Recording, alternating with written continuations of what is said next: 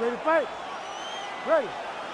All right, early round action here featuring the bona fide welterweight contender, Belal. Remember the name Muhammad.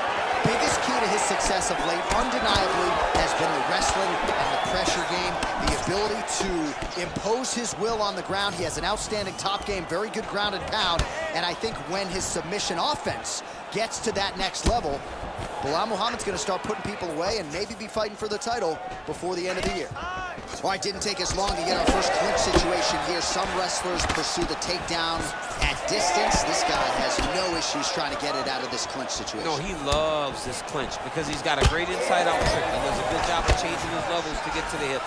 He's just a good fighter from in close. He has spent a lifetime developing his skills. He wants to impose his will as an, on his opponents from this position. And that one certainly found the target. Back in the clinch. Let's see what he does now.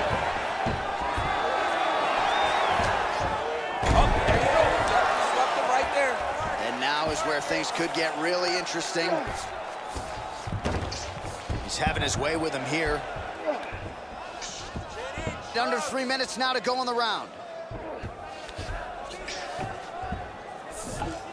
Takes the back, now going for the rear naked choke.